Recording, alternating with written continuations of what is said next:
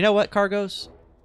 I would only go to TwitchCon if I could hang out with you because I wouldn't be able to hang out with anybody else because nobody likes me. So me, I, would have to stick with Cargos. All right. uh, Cargos, you got my back, right, bro?